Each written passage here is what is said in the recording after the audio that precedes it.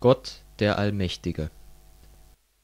Wir waren uns ja wesentlich darüber einig, dass der Kapitalismus, also die BRD, der Kapitalismus in seiner imperialistischen Phase, in seiner Sterbephase, dass die Bourgeoisie in ihrer Sterbephase auch die Religion als Rettungsanker für ihr System auswirft. Aber nun bin ich doch überrascht, naja, nicht überrascht, ich habe das Beten nicht so massiv erwartet.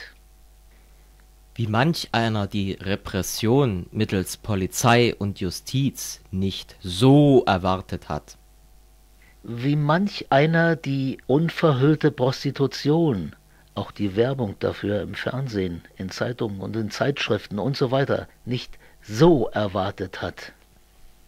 Wie manch einer die Führung von Kriegen auch die psychologische Kriegsführung in der BRD selber nicht so erwartet hat. Wie manch einer die Verarmung der Gesellschaft nicht so erwartet hat. Immerhin gelten 12 Millionen BRD-Bürger offiziell als arm. 850 sogenannte Tafeln treiben ihr Unwesen. Sie sind ja zu der Wohltätigkeit der Suppenküchen, der Heilsarmee und so weiter dazugekommen. Ja, ja, auch die mittlerweile überall vorhandenen Obdachlosenzeitungen mit ihren Vereinen sind Normalität geworden in der Sterbephase des Systems. Normalität ebenso die Sozialstationen, die Tausch- und Geschenkbörsen. Die eine Börse ist die Ursache für die andere immer schön den Tauschwert der wahre Arbeitskraft senken. Das ist die Devise der Bourgeoisie.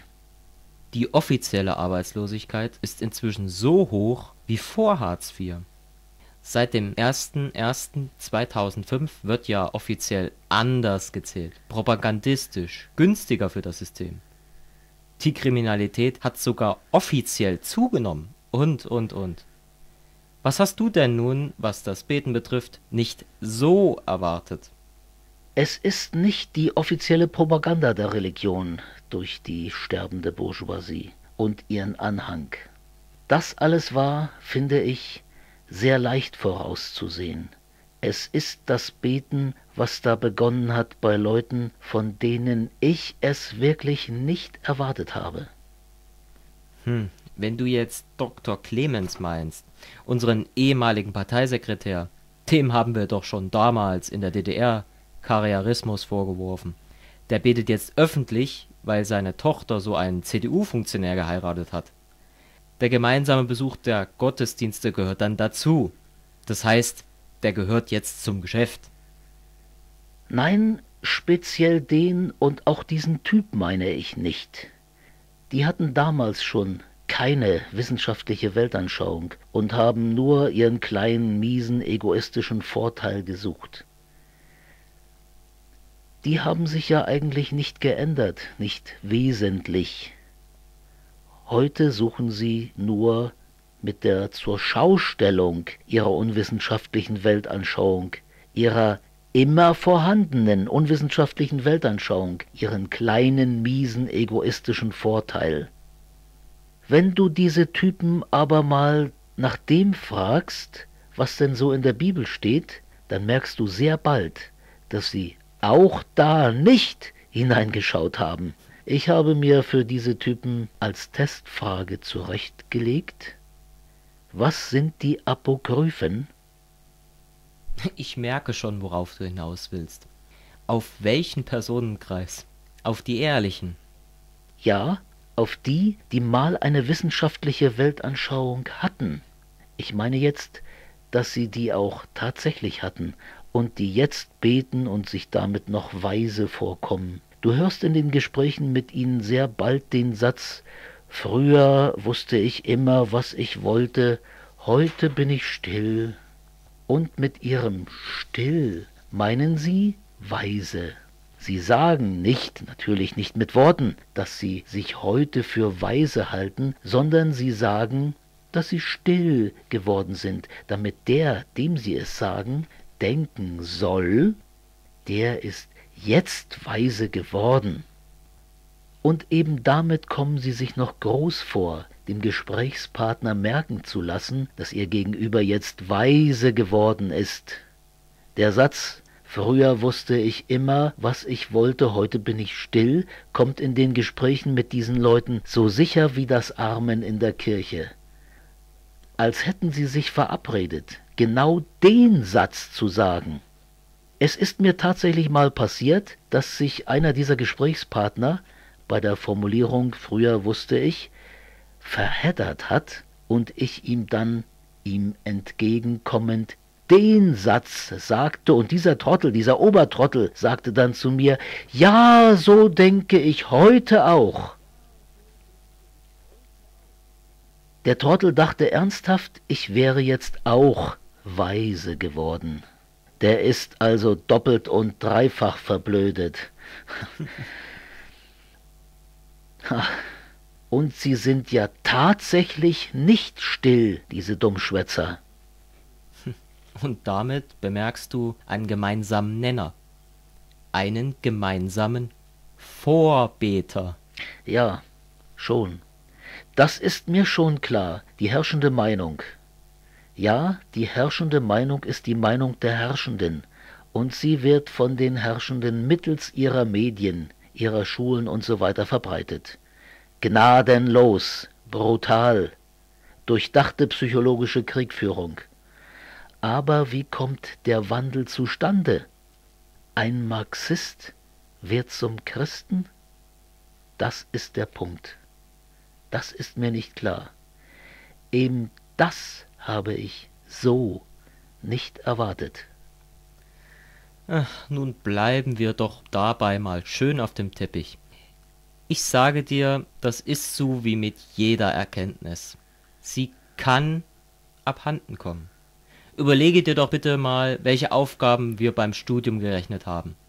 Könntest du jetzt sofort das alles lösen, was du beispielsweise in den Klausuren damals ohne Schwierigkeiten gelöst hast? Das will ich nicht behaupten. Ja, man vergisst auch vieles. Sieh einfach ein, dass es Verblödung gibt. Wo Aufstieg ist, da ist auch Abstieg. Und manch einer, der sehr hoch gestiegen ist, der fällt eben sehr tief. Die Ursache oder die Ursachen des Persönlichkeitsverfalls bei dem Einzelnen wirklich genau herauszufinden, das ist schwierig und sehr, sehr aufwendig. Aber das ist nicht unbedingt notwendig. Wir müssen, und darum geht es wesentlich, unsere Klasse sehen. Und was da die Ursache war für das Ende der DDR beispielsweise. Das ist mittlerweile sehr klar geworden. Revisionismus. Ja, nachdem die Bourgeoisie durch offene, die Klassenposition deutlich erkennbare Angriffe nicht siegen konnte ich nenne nur als Beispiele dafür die Interventionskriege gegen die junge Sowjetmacht, den faschistischen Überfall auf die Sowjetunion, den Koreakrieg und den Vietnamkrieg, gingen sie über zur Konterrevolution auf Filzlatschen. Verbergen der Klassenpositionen und Klassenziele, ja, scheinbar sogar unseren Klassenstandpunkt einnehmen, Verbesserung des Sozialismus und so weiter. Wir kennen die Einzelheiten heute. Besonders die Zeitschrift Offensiv hat dazu die wissenschaftliche Arbeit geleistet. Und leistet sie weiter. Ich hörte gestern im Fernsehen eine Sendung über einen kubanischen Dissidenten, ein Feind der Republik Kuba, der im spanischen Staat Unterschlupf gefunden hat. Unterschlupf. Es war ein Palast, in dem er dem Fernsehen das Interview gab. So blöd sind sie ja dann auch noch. Der erklärte, dass die Wandlung zur Demokratie in Kuba nur von innen erfolgen kann. Geht es noch deutlicher? Nein. Kurz gesagt ist für uns hier das Verhältnis zu Stalin der sichere Indikator dafür, ob jemand Revisionist oder Kommunist ist. Für uns ist klar, ich möchte sagen absolut klar, Marx, Engels, Lenin und Stalin. Die Bourgeoisie sagt, Not lehrt beten. Sie empfiehlt uns, handle nicht. Bete in deiner durch uns geschaffenen, durch unser Privateigentum verursachten Not. Das hilft dir in deiner Not und lässt uns noch eine Weile an der Macht. Also lässt dich noch eine Weile dein Leben für uns hergeben, lässt dich in deiner Not. Gott sei Dank, dem Retter, ha, unserem Retter, in unseren Eigentumsverhältnissen. Dank. Ich habe jetzt dem, was die Bourgeoisie sagt, noch das, was sie denkt, beigefügt. Denn es ist ja ihr, Allmächtiger, ihr, Allgestalter, ihr, Allerhalter, ihr, Allverwalter, ihr Nichts, das sie brauchen. Ja, ich stimme dir zu. Es geht um unsere Klasse. Ich will mich nicht mehr über die Beter ärgern, über die einst klugen, jetzt dummen, verblödeten. Vergesse dabei nicht, dass sie ja zu unseren Feinden, zu deinen Feinden geworden sind. Du kommst nicht umhin, in ihnen das zu sehen, was sie sind. Denke doch mal ganz kurz an die Vampirfilme. Die Kämpfer gegen die Vampire scheiterten verständlicherweise im Kampf gegen die Vampire immer, wenn sie in den Vampiren die vorigen Menschen gesehen haben. Besonders wenn sie sie gut gekannt haben, wenn sie sie gar geliebt haben, war das so. Ich verstehe, was du mir damit sagen willst. Ja, wir müssen unsere Mitmenschen danach beurteilen, was sie sind. Genau das ist es. Es wäre ja schön, wenn wir im Klassenkampf gegen die Bourgeoisie alle retten könnten. Aber das wird leider nicht so sein. Nur eins ist sicher, sobald wir die Feinde besiegt haben, können wir uns um ihre Rettung bemühen. Die Notwendigkeit diktiert unser Handeln. Unser Elend, unsere Not wird nicht gewendet, wenn wir uns verzetteln, wenn wir das Ziel, unser Ziel verlieren, also gemeinsam gegen den Feind. Jetzt!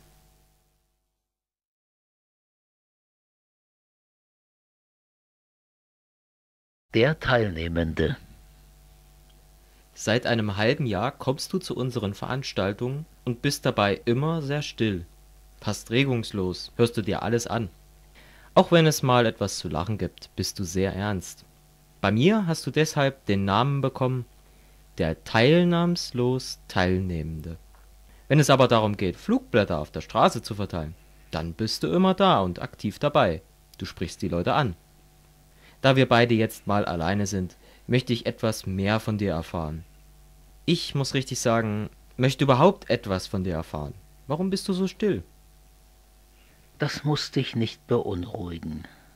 Ich habe ja den Vorteil, dass ich dich sehr gut kennenlernen konnte. Du bist das, was ich einen Kommunisten nenne. Und da du im Gesprächsteil deiner Veranstaltung bei allem hin und her doch wieder die Kurve kriegst, muss ich nicht unbedingt was sagen.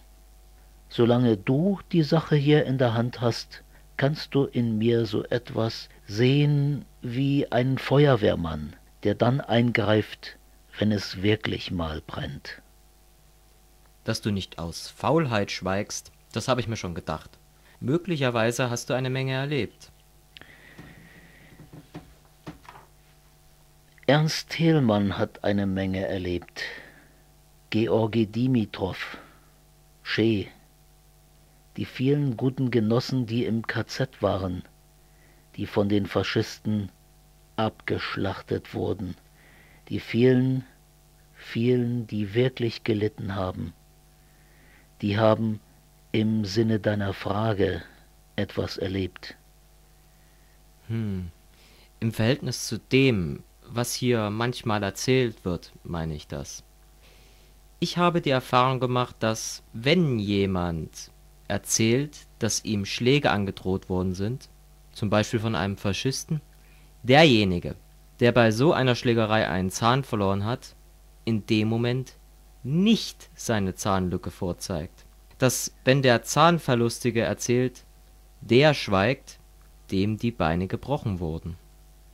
Für ihn, den Schweigenden, ist wichtig, dass der von seinen Leiden Erzählende begriffen hat, worum es geht, dass der Erzählende den Klassenkampf verstanden hat. In dem Sinne meinte ich dein Schweigen manchmal verstanden zu haben. Du bist ein guter Beobachter. Ich will dich nicht nötigen, jetzt hier vor mir dein Leben auszubreiten. Ich will dich wirklich nicht ausforschen. Verstehe doch bitte mein Interesse positiv.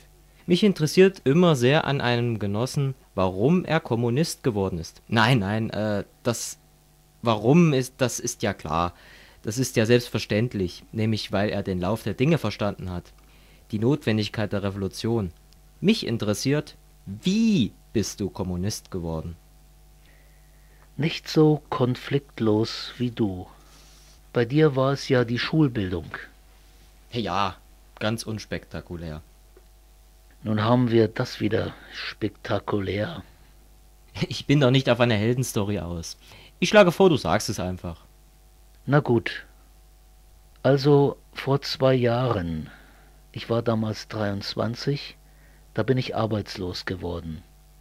Chipfabrik pleite. Ja, es war zum 31. Dezember. Ich habe mir aber weiter keine Gedanken gemacht und die Sache so gesehen. Gut, dann fährst du jetzt zur Ostsee. Das wollte ich immer schon mal. Geld hatte ich ja genug. Auto ausgeliehen, los. Kurz vor Prenzlau, ich bin nicht auf der Autobahn gefahren, hatte ja Zeit und wollte auch etwas von der Gegend sehen, blieb das Auto stehen.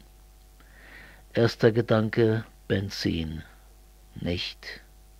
Und so weiter. Es fing kräftig an zu schneien. Pannendienst. Die meldeten sich auch, sagten aber, dass es nicht gleich wird, zwei Stunden. Ich hatte ja genügend Musik mit. Nach zwei Stunden nichts. Ich wollte anrufen und... Hm, Akku runter. Ja, was nun? Also ich konnte ja auch nicht angerufen werden. Es schneite weiter und es wurde kälter. Der Verkehr war inzwischen zum Erliegen gekommen. So. Da stand ich nun im Schnee. Alleine. Und es wurde immer kälter. Ich hatte mich natürlich auch nicht, wie man so sagt, der Jahreszeit gemäß angezogen. Weißt du, mein Leben begann an mir vorüberzuziehen. Ich musste unbedingt handeln, um nicht zu erfrieren. Wie spät war es? Gleich. Ich hatte mir, was ich irgend konnte, angezogen und mir auch aus der mitgebrachten Unterwäsche eine Kopfbedeckung gebastelt. Hatte ja keine Mütze mit.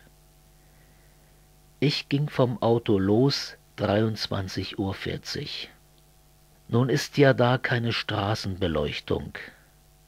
Ich schaute nicht nach unten auf die Straße, die war ja verschneit, ich schaute nach oben, zu den Straßenbäumen, um auf der Straße zu bleiben. Erstmal wurde ich durch die Bewegung etwas warm, aber das dauerte nicht lange und es begann sich wieder vor mir mein Leben abzuspulen, meine ganze gottsverdammte Überheblichkeit. Schwierigkeiten wie diese kamen in meinen Gedanken damals einfach nicht vor. Ich war auch nie ernstlich krank gewesen. An was ich nun alles dachte, in dem Schnee, Amundsen und, und. Bestimmend wurde der Gedanke an. Das kann ich jetzt wirklich nicht erraten. Stalingrad. Ich dachte, du kommst drauf, weil du immer mal wieder in deinen Geschichten und Gedichten an die Stalingrader Schlacht erinnerst. Mein Gedanke war so. So muss es den verblendeten Herrenmenschen vorgekommen sein, die nun mit der Realität konfrontiert waren.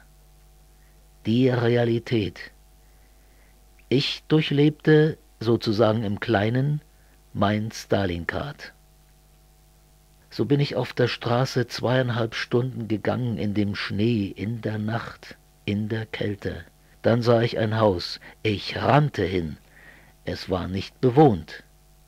Es war ein verlassenes Haus, also eins, das schon lange verlassen worden war. Ich konnte relativ leicht die Haustür aufbrechen. War es ein verlassenes Einfamilienhaus? Ja, ein relativ kleines. Möbel waren keine mehr drin und es war wohl auch sehr lange kein Mensch mehr in dem Haus gewesen. Natürlich kein Strom. Du musst immer daran denken, dass es ja mitten in der Nacht war. Von der Straße war es etwa 400 Meter entfernt. Ich beschloss, so gut es geht, eine Ecke zu finden und die Nacht da abzuwarten. Natürlich war ich auch müde. Und jetzt kommt etwas sehr Entscheidendes. Es ist ganz sicher das wichtigste Ereignis in meinem bisherigen Leben. Jetzt bin ich gespannt. Kam einer? Nein, nein, ich war allein. Ich ertastete in dem einen Zimmer einen Kachelofen. Und? Was? Ich kann's ja wirklich nicht wissen. Ich fand ein Feuerzeug. Das lag oben drauf und es ging. Also, das Aufleuchten dieses Feuers, ich kann das mit Worten nicht beschreiben, was da in mir vor sich ging. Ich kann nur unter uns sagen, ich habe geweint vor Glück.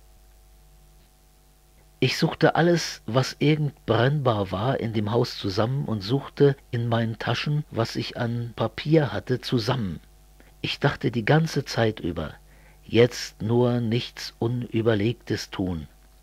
Ich weiß nicht genau, aber vermutlich habe ich laut gesprochen.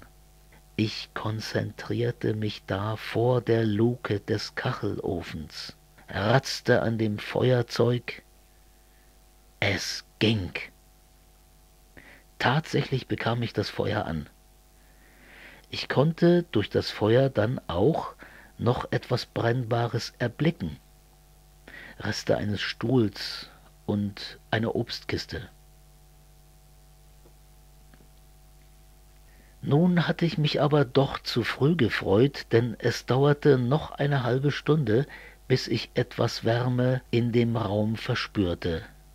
Dann kuschelte ich mich an den Ofen und bin immer kurz eingeschlafen. Ich drehte mich dann, wenn ich aufgewacht bin, immer schnell auf die andere Seite.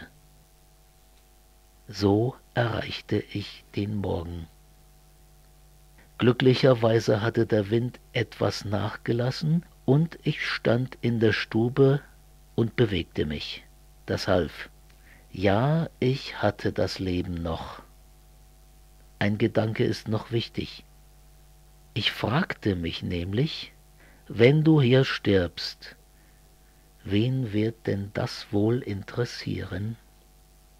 Und da ich ja gerade entlassen worden war, aber das kannst du jetzt erraten. Du dachtest über die Gesellschaft nach und erkanntest, dass dein Leben den Bourgeois gleichgültig ist. Der Fakt, die Tatsache, musste mir ja bewusst werden. Übrigens, Bourgeoisie und Proletariat, die Begriffe hatte ich damals noch nicht drauf denke an mein Alter, ich bin ja in der BRD zur Schule gegangen. Ich dachte damals Arbeitgeber. Du hast noch nicht gesagt, wie du gerettet worden bist. Ich bin zur Straße gerannt, etwa so gegen sieben, und irgendwann hielt dann ein Auto, und nach umständlichem Hin und Her, ich zeigte auch meinen Ausweis, wurde ich nach Prenzlau mitgenommen. Der Mann hat mich übrigens für einen Penner gehalten und die Polizei angerufen, aber ich hatte nichts dagegen. Ja, und nach meinem Stalingrad begann mein wissenschaftliches Studium der Gesellschaft. Ich kann nur sagen, mögen unseren Leuten solche Realitätsbelehrungen erspart bleiben. Deshalb finde ich das gut, was du hier veranstaltest mögen die Worte reichen. Du hast dann doch sicherlich nichts dagegen, wenn ich dein Erlebnis für andere aufschreibe. Tu es aber bitte nicht mit Namen. Ich sage dann irgendwann mal selber, dass ich es bin. Einverstanden. Erzählender Teilnehmender. Und wenn du mich mal besuchst, dann zeige ich dir das Feuerzeug.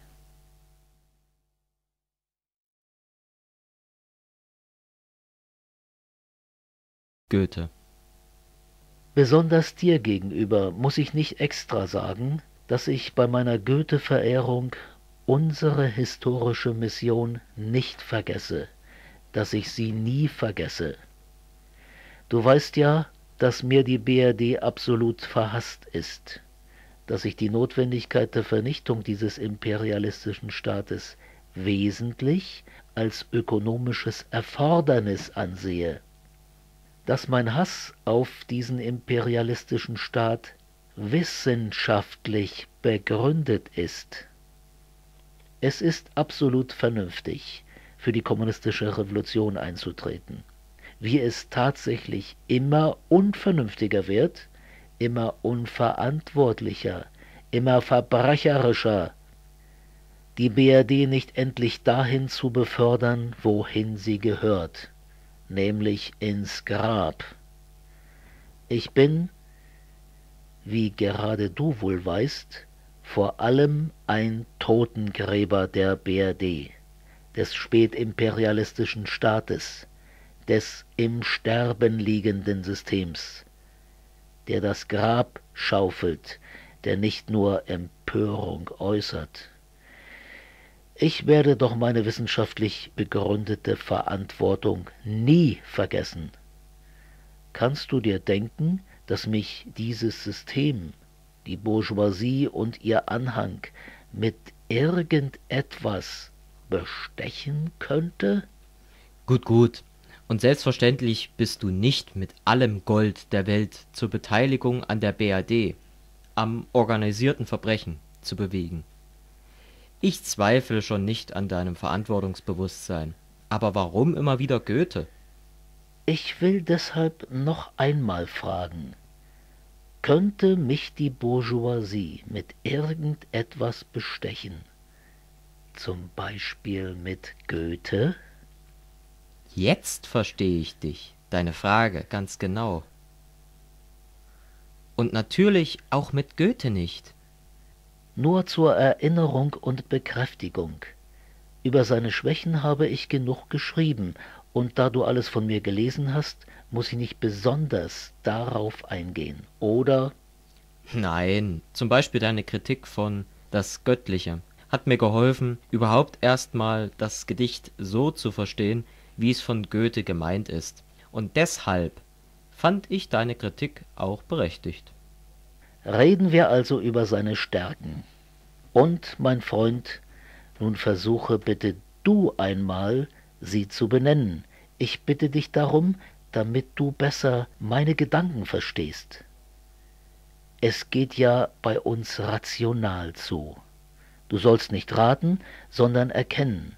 Das, Worum ich dich bitte, ist vergleichbar mit einer Rechenaufgabe, bei der das Ergebnis von mir errechnet wurde und du nicht weißt, wie ich darauf gekommen bin, und du sollst nachrechnen, meinen Rechenweg nachvollziehen, um dann genau das Ergebnis bestätigt zu finden, das ich eben schon vorher ausgerechnet habe. Hm, ich will es versuchen. Zuerst fällt mir das Gedicht Prometheus ein. Bedecke deinen Himmel, Zeus und so weiter. Und dann, hier sitz ich, forme Menschen nach meinem Bilde, zu leiden und zu freuen sich, und dein nicht zu achten, wie ich. Es ist mein Lieblingsgedicht immer geblieben, ja, und auch heute ist es mein Lieblingsgedicht. Müsste Goethe nicht allein wegen dieses Gedichtes verteidigt werden? Unmöglich hier Nein zu sagen. Dann gibt es ja noch den Faust. Gedichtete Dialektik. Ich will nur daran erinnern, du weißt es ja, Lenin ließ sich, als er in der Schweiz war, sein Faustexemplar schicken. Und wie oft Marx und Engels Goethe zitierten. Ja, im Manifest. Die Bourgeoisie gleicht dem Hexenmeister, der die unterirdischen Gewalten nicht mehr zu beherrschen vermag, die er heraufbeschwor. Ich merke jetzt schon, jetzt gleich, wir werden nicht fertig mit Argumenten für dich. Was habe ich mir da nur eingebrockt? Du bist ein vorsichtiger Mensch. Sollte ich dich gerade dafür tadeln? Dann danke für deine Güte, alter Meister. Ich will noch etwas nennen, was Goethe uns lehrt, und vor allem durch das Beispiel lehrt er es uns. Das Gute, das Richtige, das Vernünftige nicht nur sagen, sondern es auch schön sagen. Und damit ist das, was uns Goethe in unserem Kampf gegen die Bourgeoisie an Waffen gibt, ja noch lange nicht ausgeschöpft. Sicherlich. Ja, ich bin also mit dir einverstanden. Wusste ich's doch. Grundsätzlich sind wir zur Bewahrung des progressiven Erbes verpflichtet. Und jedes progressiven Erbes.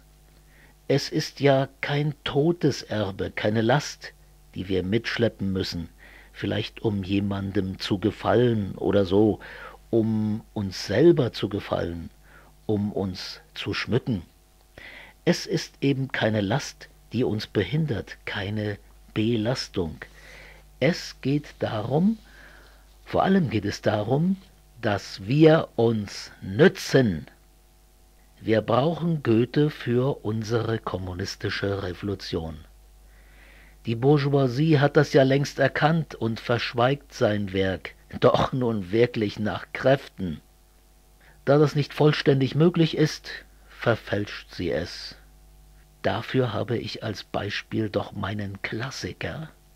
Ja, ich weiß, was du mit dem Klassiker meinst. Deine Frau hat dir zum Geburtstag in bester Absicht ein Buch geschenkt. Goethe für jeden Tag. Also 365 Goethe-Stücke. Gedichte zumeist. Eben für jeden Tag eins. Du hast es mir gezeigt und die Herausgeber haben durchweg nur religiöses Zeug genommen. Manchmal ist es geradezu absurd aus dem Zusammenhang gerissen worden.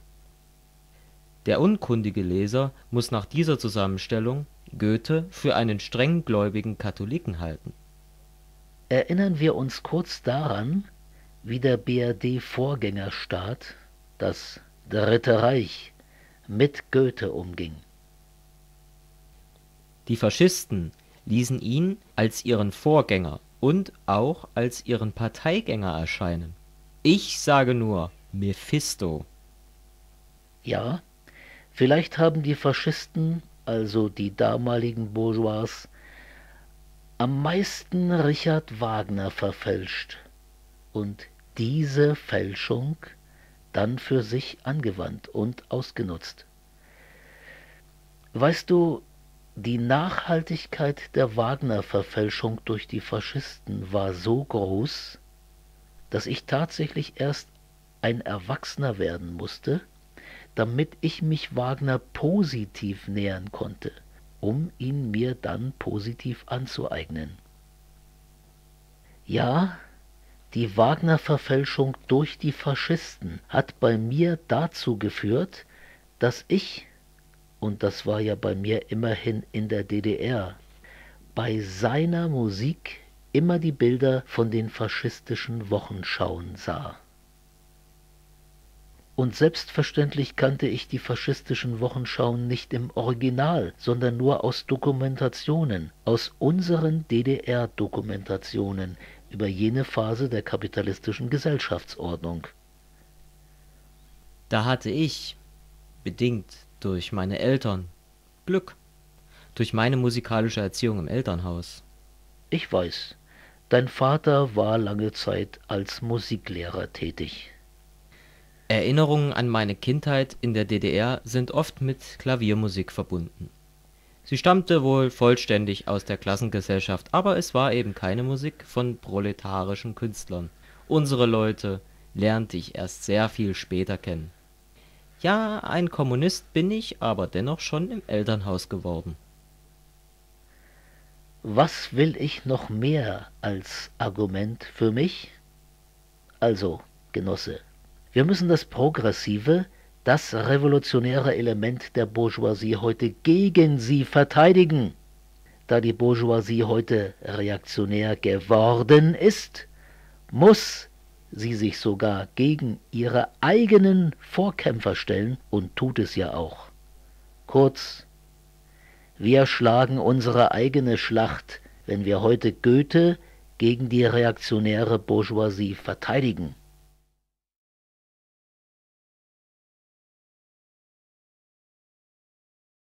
Das eine. Die Entdeckung des Zwischenkieferknochens beim Menschen durch Goethe hat er gewürdigt. Ja, und auch Goethes Einsatz in der Sache hat er richtig dargestellt, weil eben damals die These vertreten wurde, dass der Mensch mit dem Tierreich gar nichts zu tun hätte, etwas ganz anderes sei. Dass er das Geschöpf Gottes sei. Goethe hat diese in den damaligen Kämpfen um Wissenschaftlichkeit so wichtige Brücke zwischen Mensch und Tier gefunden. Er hat sie gesucht und er hat gefunden. Das war ein bedeutender Sieg für den Atheismus und eine bedeutende Niederlage für den Theismus, besonders für das Christentum. Bei seiner Würdigung Goethes wurde auch klar, dass dieser Würdiger Goethes ein Atheist auch selber ist. In der Beziehung denkt er also wissenschaftlich und propagiert die Wissenschaft, handelt er in unserem Sinne. Soweit so gut. Aber was die Darstellung der DDR betraf, da redete er unwissenschaftlich. Das hast du sehr schonend gesagt, denn indem er redete, handelte er ja. Er hetzte, er kämpfte für die Bourgeoisie, für die reaktionäre Klasse, für die Klasse, die aufgrund ihres Absterbens, ihres gewissen Untergangs unwissenschaftlich sein muss, hetzend sein muss, für die Dummheit kämpfen muss. Keine Angst, ich sehe das nicht anders als du.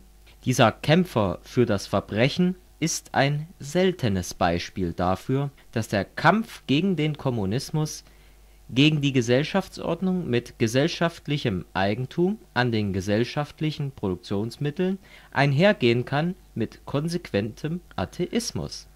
Bei ihm ist seine richtige Wertung Goethes, sein zur Schau gestellter Atheismus der Köder, mit dem er uns dazu bringen will, auch für das Privateigentum an den gesellschaftlichen Produktionsmitteln, für den Kapitalismus zu sein. Wir sehen an seinem Beispiel, dass die Bourgeoisie die ja letztlich alle Religionen zulässt und propagiert, nicht nur das Christentum, den Buddhismus und den Islam, dass sie sogar den Atheismus zulässt und ihn sogar propagiert, solange an dem einen nicht gerührt wird. Das eine, um das sich alles dreht. Es ist das Privateigentum.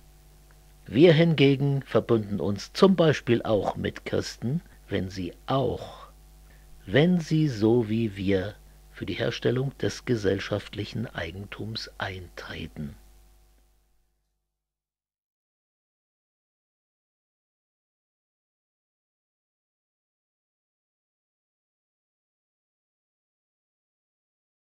Der Greifvogel Du siehst nun schon zehn Minuten auf die Pappeln. Wie ich dich kenne, erinnerst du dich an etwas? Du kennst mich gut. Ja. Es war im Januar 2010, als ich hier eingeschneit war. Der große Schneesturm war zwar schon vorüber, aber es war noch kalt. Minus acht Grad Celsius. Wir hatten übrigens kurz zuvor noch telefoniert und du hattest mir die gute Nachricht bringen können, dass laut Internetinformation wieder alle Züge fahrplanmäßig fahren. Ich bereitete mich auf die Abreise vor, die ja von einem Tag zum anderen immer wieder verschoben werden musste. und ich stand hier und sah andächtig die Pappeln an. Da sah ich einen Habicht auf die Spitze der mittleren Pappel fliegen. Ich freute mich, dieses Schauspiel zu sehen, wie gewandt sich der Vogel da hoch in dem Baum gebärdete. Es war ja windig. Gerade wollte ich die Kamera holen, um den König der Lüfte zu filmen und freute mich schon auf die erstaunten Augen unserer klugen Enkelin beim Betrachten der Aufnahmen. Da stürzte der Greifvogel auf mich zu, genau hier auf dieses Fenster zu. Ich bekam einen kleinen Schreck. Dann sah ich aber auch schon, dass nicht mir der Angriffsflug galt, nein, die lieben kleinen Amseln wollte er sich greifen. Die hatten ihn aber wohl rechtzeitig bemerkt und waren davongeflogen. Ich hatte dir ja die Filmaufnahmen von den lieben Freunden in meiner Abgeschiedenheit gezeigt. Ja, und unsere Kleine will die Aufnahmen immer wieder mal sehen.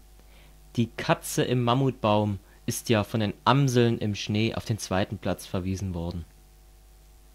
Nun musste ich gerade daran denken, dass ich sogar schuld gewesen wäre, wenn der Raubvogel die Amseln erbeutet hätte. Ich hatte ja in den Tagen die Apfelschalen immer ein Stück dichter zu diesem Fenster hin abgelegt. So hatte ich die lieben kleinen Vögel vor mein Fenster gelockt und konnte ihnen zusehen, aber damit hatte ich sie auch aus der Deckung der schützenden Tannen hervorgelockt. Ohne mein Tun zu verstehen, habe ich dem Raubvogel die Amseln zum Fraß vorgesetzt. Ja, tatsächlich. Du hast ihm erst seine mögliche Beute gezeigt. Hätte er sie reißen können, dann hättest du mir das Ereignis wohl schon damals schuldbewusst erzählt. Also ist noch etwas dazugekommen. Ich meine jetzt bei deinen Gedanken, jetzt hier. Ja, in den Tagen kam es in Haiti zu dem schweren Erdbeben. Ich kann mich gut daran erinnern. Ja, Januar 2010. Nach drei Tagen war die internationale Hilfe immer noch nicht bei den Betroffenen angekommen. Und an jenem dritten Tag nach dem Erdbeben sah ich im Fernsehen, wie das große Flugzeug der USA landete. Es war die US Army, die da landete, mit Fallschirmjägern und Kettenfahrzeugen, mit Waffen und in Waffen, Stahlhelm, Waffe im Anschlag, alles wie im Krieg. Die klassische militärische Luftlandung. Vor der Küste hatte ein Flugzeugträger geankert. Dann wurde die Außenministerin der USA gezeigt, die sagte, die Situation droht hier in einem der ärmsten Länder der Welt außer Kontrolle zu geraten. Deshalb werden wir in dieser Krise nicht untätig zusehen, sondern die nötigen Maßnahmen ergreifen. Ich verspreche hier, wir werden auch weiterhin mit unseren Truppen in Haiti bleiben. Die USA haben die Notsituation dort genutzt zu einer militärischen Intervention. Genau das ist geschehen. In der Not greift der Raubvogel zu. Die USA, das kapitalistische System, war in höchster Gefahr. Kuba schickte für die Erdbebenopfer Hilfe, auch Bolivien und Venezuela. Diese Hilfe in der Not, die wirkliche, die tatsächliche Hilfe für die Erdbebenopfer, die musste unter Kontrolle gebracht werden. Es ist das richtige Selbstverständnis der USA und die Offenbarung für uns, dass dieser imperialistische Staat den Greifvogel im Schilde führt und keine Friedenstaube.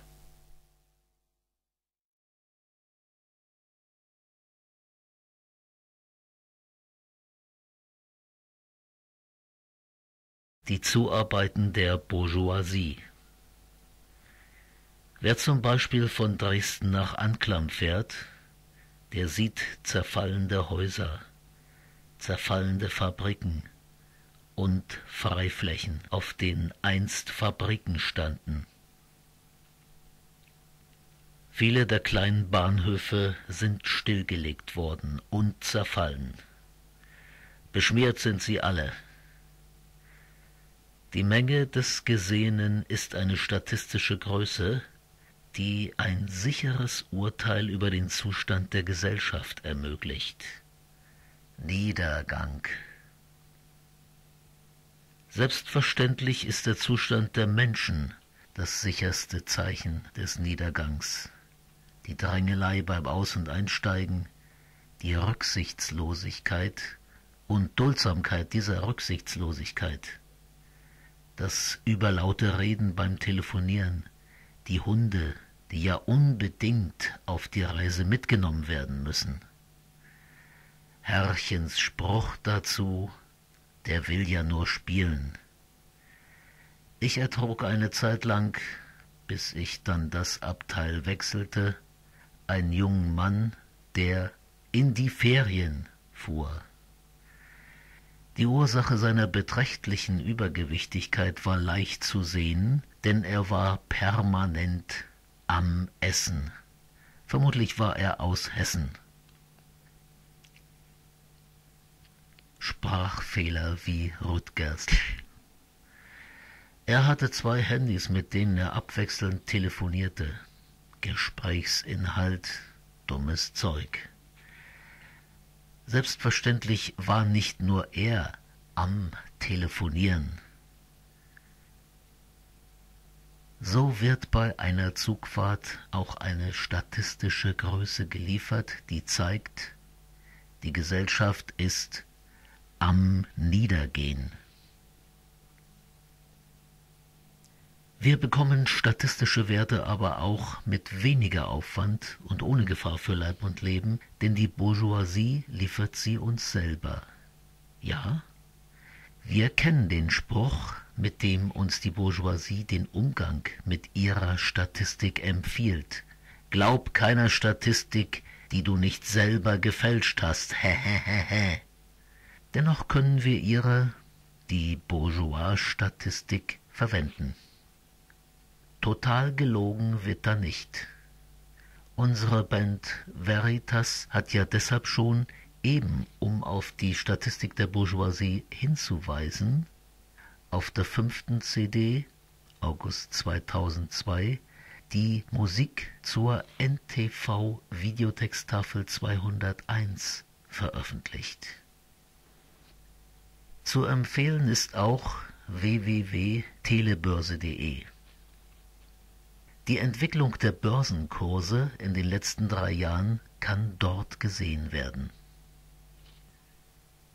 Und auch das dort Gesehene reicht schon, um sicher von der Gesellschaft sagen zu können, Niedergang. Nehmen wir zum Beispiel den Goldpreis, dessen Entwicklung dort gezeigt wird.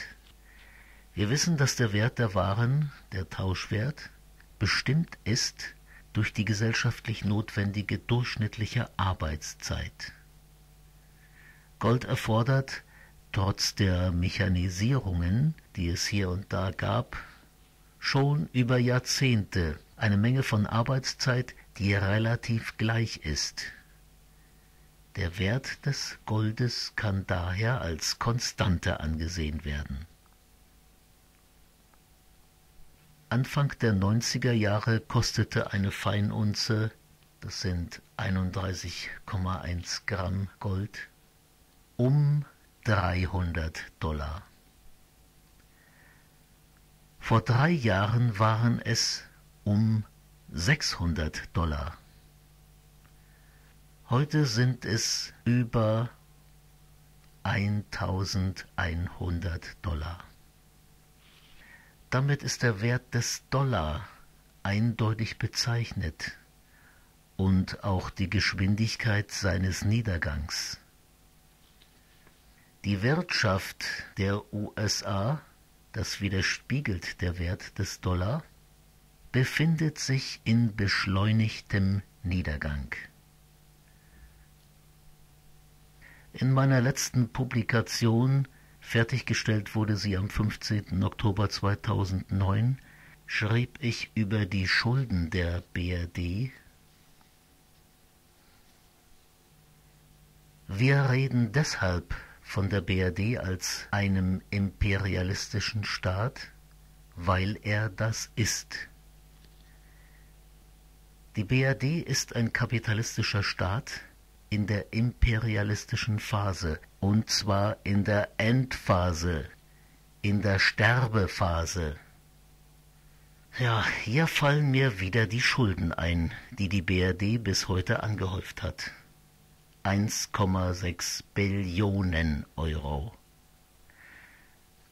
Weißt du, was Unendlichkeit ist?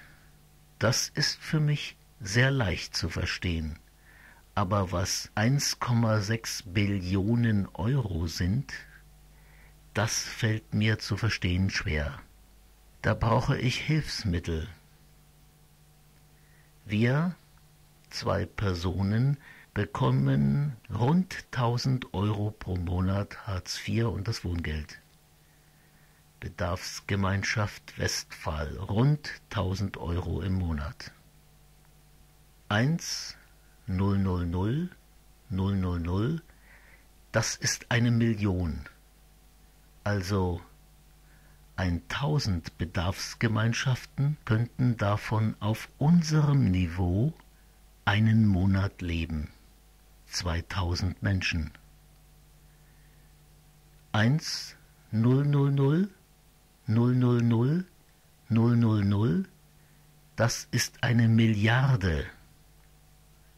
Also 1 000 000 Bedarfsgemeinschaften könnten davon auf unserem Niveau einen Monat leben. 2 000 000 Menschen. 1 000 000 000 000 das ist eine Billion. Also 1 000 000 000 eine Milliarde Bedarfsgemeinschaften könnten davon auf unserem Niveau einen Monat leben. 2 000 000 000 2 Milliarden Menschen. Jetzt die 1,6 Billionen. 1 600 000 000 000 also 1 600 000 000 eine Milliarde und 600 Millionen Bedarfsgemeinschaften könnten davon auf unserem Niveau einen Monat leben. 3 200 000 000 Menschen. Wenn wir das Lebensniveau in anderen spätimperialistischen Staaten nehmen und deren mögliches Lebensniveau auf dieser Basis errechnen, dann kommen wir wieder in Bereiche, die ich mir leicht vorstellen kann, nämlich wegen ihrer fast Unendlichkeit. Zum Beispiel könnte Äthiopien von den 1,6 Billionen Euro jahrzehntelang, ach was, jahrhundertelang um ein Vielfaches besser leben als jetzt. Die für mich mit Hilfsmitteln vorstellbare Summe von 1,6 Billionen Euro Schulden der BRD sagen uns aber andererseits absolut klar, die BRD ist pleite. absolut niemals können die Schulden beglichen werden. Und selbst die Begleichung der Zinsen stößt an die Grenze des Möglichen. Die Schulden, auch das ist klar, werden weiter wachsen, und zwar noch schneller als bisher, damit auch die Zinsen. Was kann der Staat BRD nur tun? Ausgaben senken, Einnahmen erhöhen, Inflation. Und das alles läuft und funktioniert nicht, keine Rettung, da ja die Anzahl der Arbeitslosen steigen wird, die Einnahmen also sinken werden und die immer schwächer werdende Kaufkraft die Inflation tatsächlich bremst und die Apologeten des dem Tode geweihten Systems erkennen ihren Bankrott nicht, sondern behaupten von der DDR, dass sie pleite gewesen sei. Ich halte denen, die der Bourgeoisie nachplappern, immer gern die Zahlen vor, die die BRD selber genannt hat. Die Zahlen der Herren, der Bourgeoisie also. Die Bundesbank berechnete in ihrem sogenannten Abschlussbericht für die DDR 1999 knapp 20 Milliarden D-Mark, welche die DDR noch zu zahlen hatte. Diese 20 Milliarden D-Mark sind aber keine tatsächlichen Schulden, sondern nur die aus den normalen Geschäftsbeziehungen folgenden Zahlungen ich bin ja auch noch kein Schuldner, wenn ich mir ein Eis kaufe für einen Euro und erst noch in die Tasche greifen muss, das Geld raushole und so weiter. Es gilt eben im Handel grundsätzlich erst die Ware, dann das Geld. Ja, und selbst wenn jene rund 10 Milliarden Euro, 2 D-Mark rund 1 Euro, tatsächliche Schulden gewesen wären, dann könnten wir wohl kaum vom Bankrott sprechen. Aber tun wir doch einmal so, als wären die 10 Milliarden Euro Schulden im Sinne der BRD gewesen. Welches Zeichen müsste zwischen den beiden Zahlen 1600 Milliarden Euro 10 Milliarden Euro stehen. Richtig. 1600 größer als 10. 160 mal größer, wenn die 20 Milliarden D-Mark tatsächliche Schulden gewesen wären. Die Bundesbank der BRD hat 1999 in ihrem Abschlussbericht nicht von Schulden gesprochen. Die BRD wurde am 3. Oktober 1990 um ein real unverschuldetes Gebiet erweitert und eben viel mehr noch. Sie bekam ein wertvolles Geschenk. Selbst der Schrottpreis für die Anlagen unserer Betriebe hätte die 20 Milliarden Schulden, wenn wir sie denn gehabt hätten, mindestens ausgeglichen. Aber die Lüge von der verschuldeten, hochverschuldeten, maroden, bankrotten DDR wird immer wieder aufgetischt. Zum Beispiel gehört sie sogar zur Programmatik der CDU. Ein vom Bundesvorstand der CDU an den 22. Parteitag vom 1. bis 2. Dezember 2008 in Stuttgart eingebrachter Antrag, dem ohne Diskussion zugestimmt wurde, lautet Die sozialistische Planwirtschaft als Wirtschaftsform verursachte trotz der Anstrengungen der Menschen in der DDR den wirtschaftlichen Bankrott, für den die Führung der SED verantwortlich ist. Die Wahrheit ist, dass seit dem 18.03.1990 in der DDR die CDU an der Macht war und den wirtschaftlichen Bankrott der DDR herbeigeführt hat. Und zwar absichtlich.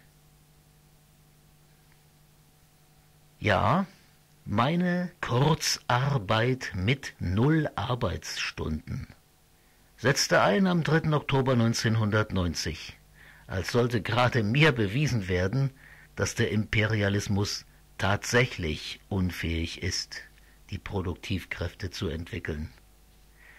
Ich arbeitete damals im VEB Kupplungswerk Dresden.